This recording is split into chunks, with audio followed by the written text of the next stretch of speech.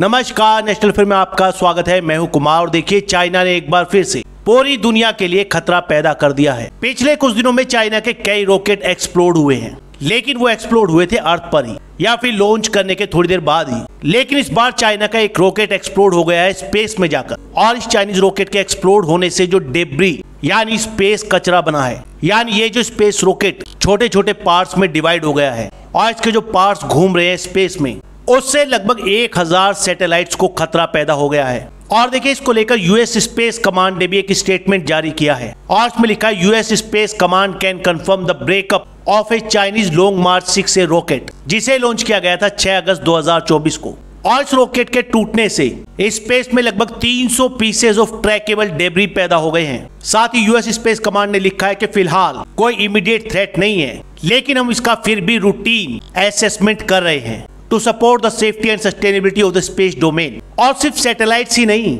एक Chinese rocket के explode होने से इंटरनेशनल स्पेस स्टेशन को भी खतरा हो गया है। देखिए क्या हेडलाइन लिखी है। इसमें लिखा है, Sunita Williams and fellow astronauts at risk from the Chinese rocket explosion debris देखिए चाइना एलन मस्क के स्टारलिंक की तरह अपना खुद का एक स्पेस कॉन्स्टिलेशन बनाना चाहता है सैटेलाइट्स का। इसको चाइना में जी सिक्सटी स्टारलिंक भी कहा जाता है। और इसके अंडर चाइना का प्लान है।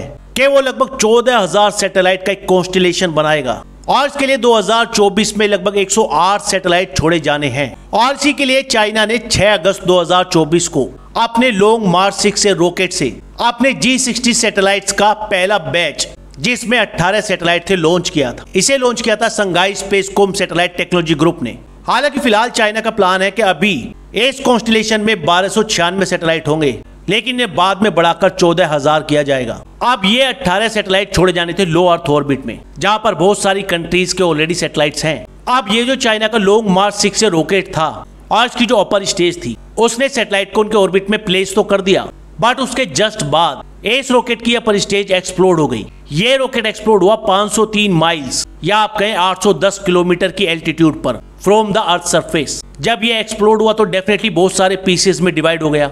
अब वो पीसेस घूम रहे हैं स्पेस में सैटेलाइट्स के आसपास। और स्पेस में ऑलरेडी जितने भी सैटेलाइट्स हैं 497 माइल्स या 800 किलोमीटर की एल्टीट्यूड से कम पर, उन सभी के लिए खतरा पैदा हो गया है। एक रेफरेंस के लिए अगर बात करें इंटरनेशनल स्पेस स्टेशन की तो वो अर्थ सरफेस से सिर्फ़ दो सौ चौवन माइल्स या आपके 408 किलोमीटर ऊपर है।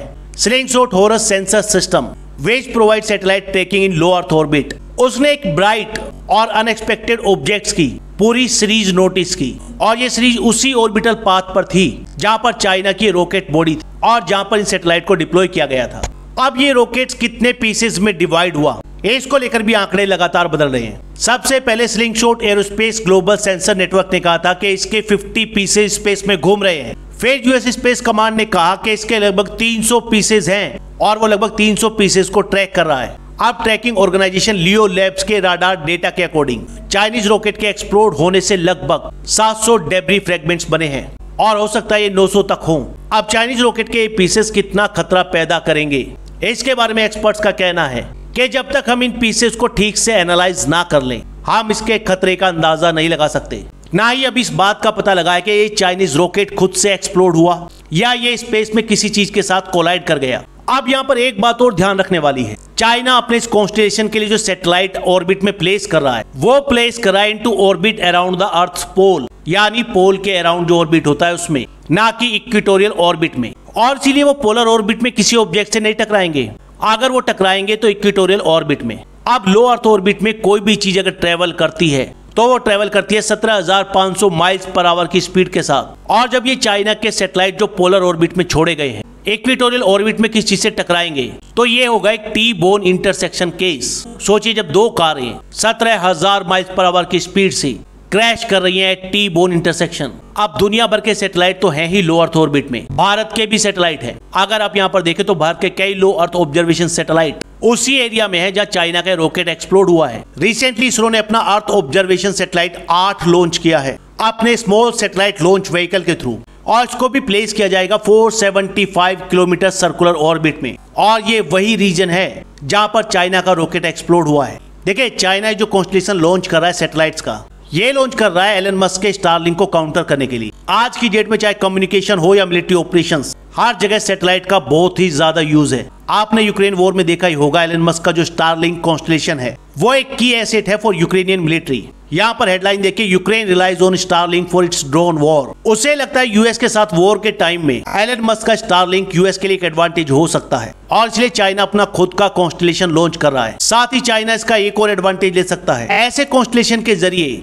ऐसे रिमोट एरियाज़ में भी इंटरनेट सर्विस प्रोवाइड की जा सकती है, जहाँ इंटरनेट से रिलेटेड इंफ्रास्ट्रक्चर नहीं है। और अगर चाइना अपना खुद का कॉन्स्टलेशन बना लेता है तो वो इसे अदर कंट्रीज़ के लिए अपने बेल्ट एंड रोड इनिशिएटिव के अंडर यूज़ कर सकता है। अदर कंट्रीज़ को ऑफ़र दे सकता है कि अगर आप बेल्ट एंड रोड इनिशिएटिव के अंडर आएँगे तो आपको फ्री इंटरनेट प्रोवाइड किया जाएगा इवन इन रिमोट एरियाज़ लेकिन फ़िलहाल चाइना का एक कॉन्स्टलेशन का पहला लॉन्च ही दुनिया के लिए खतरा बन गया है। आप लोग इस पर क्या राय है कमेंट ज़रूर करिएगा। फ़िलहाल इस वीडियो में इतना ही। नेक्स्ट वीडियो में जल्द मिलेंगे। धन्यवाद।